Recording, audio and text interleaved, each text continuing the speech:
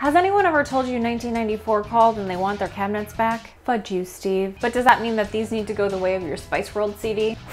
Of course not. Did you know that cabinets are the most expensive item in a kitchen remodel? So let's paint them and put your savings towards a new deck, bathroom, or hey, maybe a she shed. Now the internet says all you have to do is prep, prime, and paint, but that is boring. So we are going to prep, prime, paint, and what's another thing that starts with a P? Polka.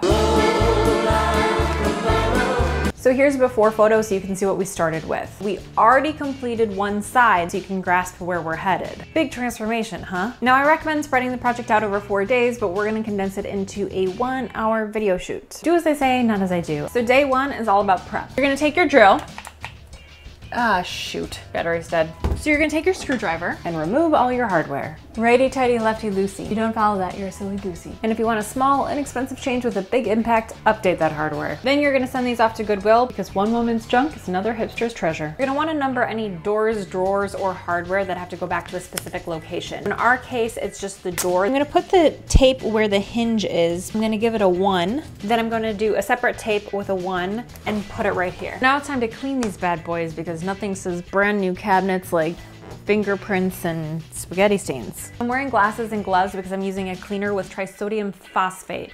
Gotta put some back into it. So you can dry them down with a rag, but make sure that they don't leave hairs because hairy cabinets are so 1972. You'll be doing the same thing with the cabinet frame and you just have to do the outside. You don't have to paint the inside. By the way, most of you are gonna wanna drop cloth underneath, but we just have really ugly carpet that we're tearing up, so we don't care if we get paint on it. Now, if you thought exfoliating was just for your face, you were wrong. It's time to take a sand sponge and exfoliate the cabinets. You're just trying to remove the shine and the roughness so the paint sticks to the cabinets. Works awesome at getting out the wrinkles. Now remove any excess dust. These are painter tripods. You want to set them on your surface they elevate the cabinet door so it doesn't smudge when you're painting them. You're gonna start with the back of the cabinet facing up so that way when you're done, you flip it. If the tripod leaves a mark, nobody cares. It'll be classy in the front, party in the back, AKA the mullet technique. All right, time to take that bonding primer. Now, most people would use a pan and liner, but I recommend an ice cream bucket because it gives you an excuse to eat an entire bucket of ice cream. You're gonna use an angled brush for the detailed areas. So think corners and creases.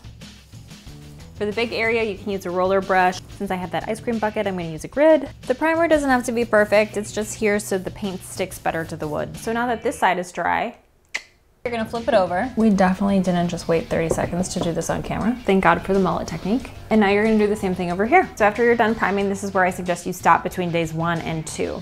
Welcome to day two. You're wearing the same thing. Are you ratting me out like that?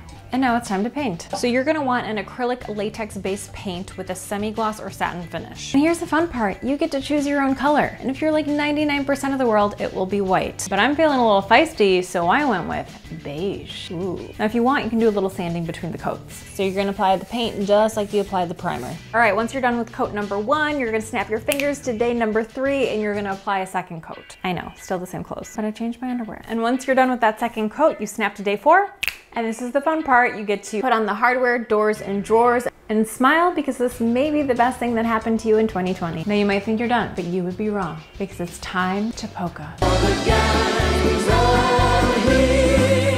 I take it back. Polka twerk's the best thing that happened in 2020.